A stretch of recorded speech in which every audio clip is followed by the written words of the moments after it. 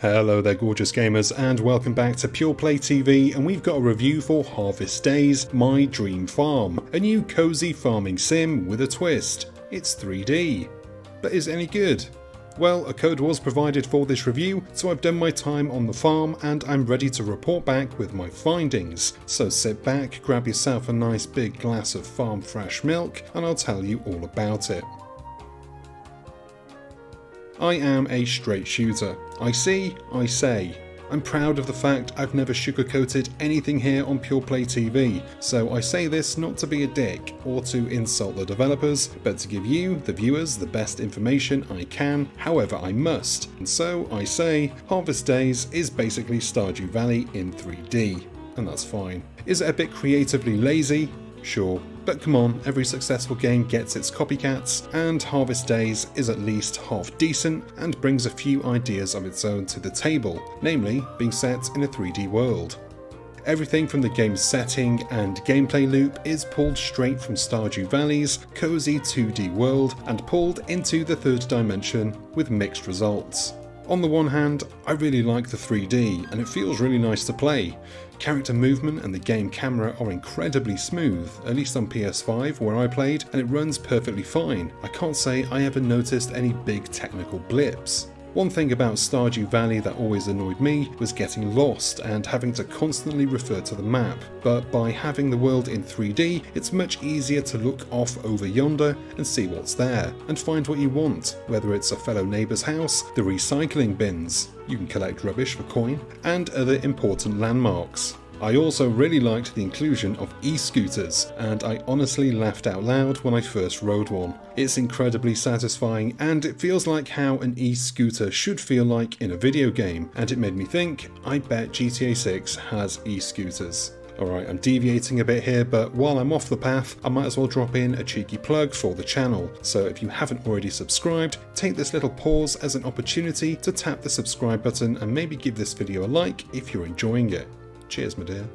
The general gameplay loop is as you would expect. You start off with your own farmhouse and land that has been neglected for too long. It's overgrown with what I originally thought was crops that needed to be harvested, but it was actually weeds, despite them being almost as big as my player character, who I designed myself by the way. The game has a pretty in-depth character creator tool at the beginning if you really care, and I guess with the game being 3D, there is more reason to give a damn how your character looks, as you'll see them from all angles, and something that honestly tickled me far more than it should, this game has a dedicated dance button hold down triangle and your character will start getting jiggy with it. Why? Why not? Every game should have a dedicated dance button in my opinion and I will be deducting points for games that don't have it going forward. So yeah, you clear your bit of land, you prep your soil, you plant your seeds, you water your babies until they are ready to be cut down with a scythe and sold for a tasty profit.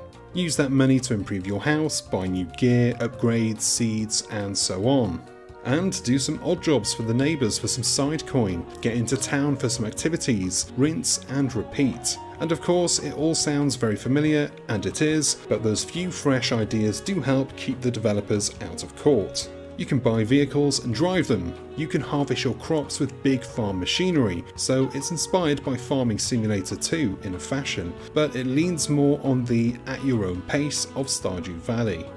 However, getting to some of that content, the stuff that sets it apart, is not an easy task. Well, it is easy, you just need to make money, and if you continue the cycle of farming and helping your neighbours, you will eventually get there. It's just bloody time consuming, and I've not gotten there yet, and I don't think I will. Such is the grind. I like the game, but I don't think it's got the charm to hook me in, at least not in the same way that its peers have in the past. The novelty of the fun 3D world wears off fast once you realise how much there is to do, and it doesn't help that the game has some really slow, time consuming animations for things that need to be done repeatedly, like planting a seed or getting rid of weeds. You would think that the shift to 3D would mean some allowances on the gameplay features that were restricted by the 2D games. To be able to water your crops while you walk through them for instance, or to swing your scythe across several patches and get your harvest. Instead, it's slow and restrictive, and it makes the chores, well, it makes them really feel like ball aching annoying chores. There's also the fact the world just feels a bit empty. It's lacking character. The town square, even when there's an event going on, is a bit depressing and reminds me of the slow death of the high street to the big box out of town stores and online retailers like Amazon, who are actually parodied here as they've basically taken over the town. But despite having that bit of cultural ribbing, the game doesn't do much with it. It just feels a bit too basic, though part of the game is to actually help rebuild plots around the town. But even you as a player can't bring about the missing atmosphere that Stardew Valley nurtured in every frame of gameplay. Harvest Days does not cultivate, pun intended, that same feeling of community and being part of a bigger picture. The music is also wildly inconsistent, sometimes swooning in only to swoon out and leave you wandering around to the sound of birds. However, Despite these harsh criticisms, on the most basic level, Harvest Days gets it all right and you can get stuck into this one and lose hours in an evening, no problem.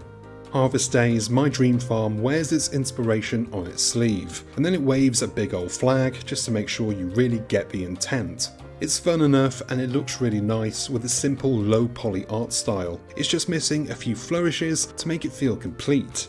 I still recommend it for all those who enjoy these kinds of games, but if you're after the more social story side, just know that it's not a big focus here, but you can ride an e-scooter, so you know, swings and roundabouts. And that is the end of this review. Thank you for watching. I hope you enjoyed it and found it useful. If you did, do us a solid and hit the like and subscribe buttons below if you ignored my previous call to action, you rude little piggy. Where did you grow up?